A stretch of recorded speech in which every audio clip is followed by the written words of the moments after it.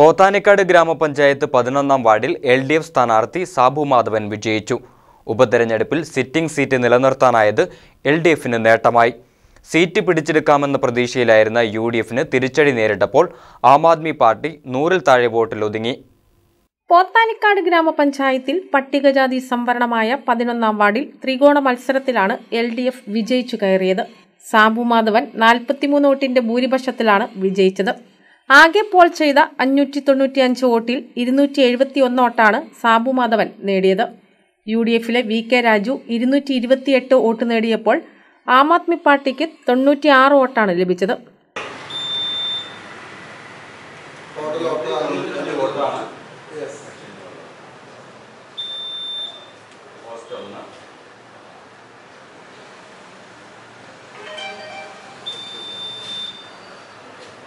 To കിട്ടിയവോട്ട് ഇരുന്നൂറ്റി ഇരുപത്തി എട്ട്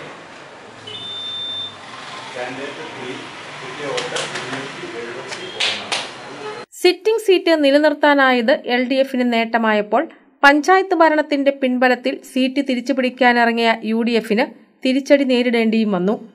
സംസ്ഥാനത്തെ ആദ്യ പഞ്ചായത്ത് മെമ്പർ എന്ന മോഹവുമായി മത്സരരംഗത്തുണ്ടായിരുന്ന ആം ആദ്മി പാർട്ടിക്ക് കന്നി മത്സരത്തിൽ നൂറിനടുത്ത വോട്ട് പിടിക്കാനായത് ആശ്വാസമായി.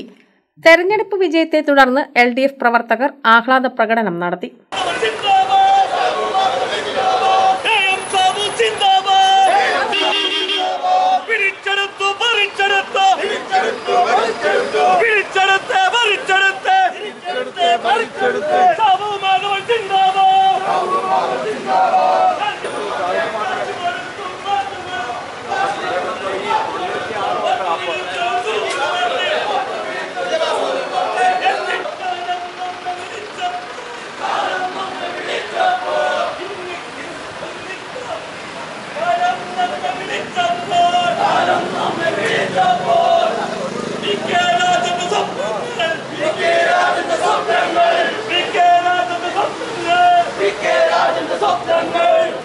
കഴിഞ്ഞ തവണ വിജയിച്ച വി കെ രാജന്റെ നിര്യാണത്തെ തുടർന്നാണ് ഉപതെരഞ്ഞെടുപ്പ് വേണ്ടിവന്നത്.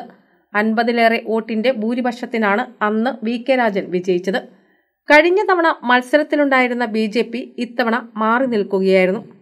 K C V news Pothanikkad.